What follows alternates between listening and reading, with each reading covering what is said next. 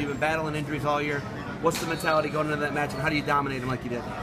Uh, just worry about what I do and not so much about what he does. I know he's got good rush in, which he got to, but going into the match, it's not stay away from this, stay away from that. It's get to this, get to that. And it may not have showed, but that, that was my game plan. That was my approach to the match.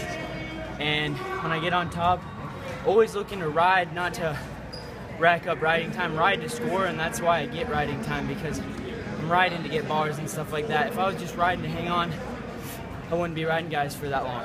So that's one thing that it's really helped me through my college career. I think you're Iowa's 19th four-time All-American. Does that hold any water to you right now? Right now, no.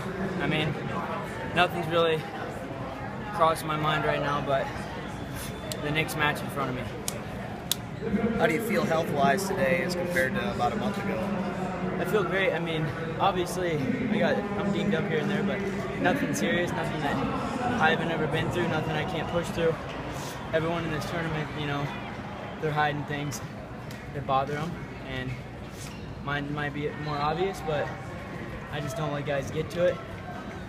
Try not to let guys get to it, and if they do, I mean, I don't let it show out there on the mat. I don't let, don't show emotion. Try not to show emotion, which is a big part of, you know, being a